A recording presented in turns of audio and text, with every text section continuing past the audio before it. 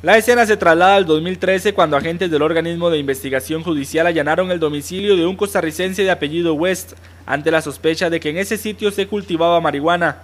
Dos años después, en la sala número 3 de los Tribunales de Justicia de Pérez Celedón, se lleva a cabo el juicio contra West y otro hombre de apellido Sain y una mujer de apellido Tejada.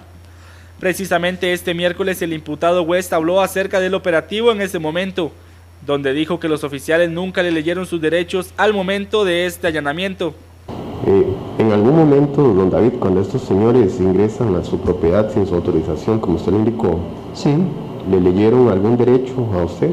No, solamente ah, cuando la jueza llegó y me puso las esposas en la espalda. Y, no estoy ni seguro si, si, eso pasó, pero no lo hicieron antes de llegar al jueza, no, no lo hicieron. Gracias. Además, West dijo que los oficiales del OIJ le mostraron incluso las fotografías que tomaron al momento del operativo, en el que se le veían las matas de marihuana que tenían un vivero dentro de su casa. Usted le narró al tribunal que eh, el muchacho que tomaba las fotografías se las mostró.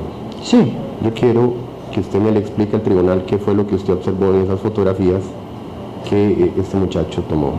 Ah, lo que vi eran las fotos que había tomado donde abrió la puerta, donde mismo hablaban que había un montón de bolsitas vacíos ustedes hablaron de eso y se veían otros matas de tamaño pequeño. Y ¿Matas de qué, perdón? De marihuana. Sí, había las bolsas que estaban llenas de tierra que yo vi ahí y, vi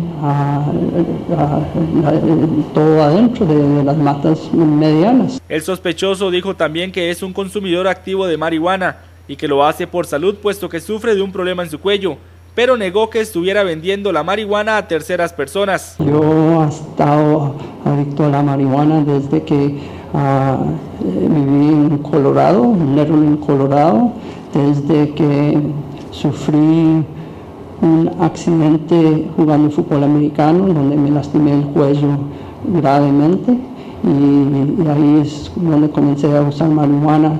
Tal vez no solamente porque mi cuello gravemente, porque era en comunidad muy abierta a la marihuana, era el primer pueblito en todos los estados que lo legalizó, era un pueblo que fumar eso era normal, hasta los profesores salían con uno de la escuela y fumaba con uno, marihuana ya era cualquier cosa. Según trascendió en el juicio, las fotografías mostradas por la fiscalía no coincidían con las que poseía la defensa. Este miércoles finalizó la etapa testimonial y se espera que el juicio entre ahora en la etapa de conclusiones.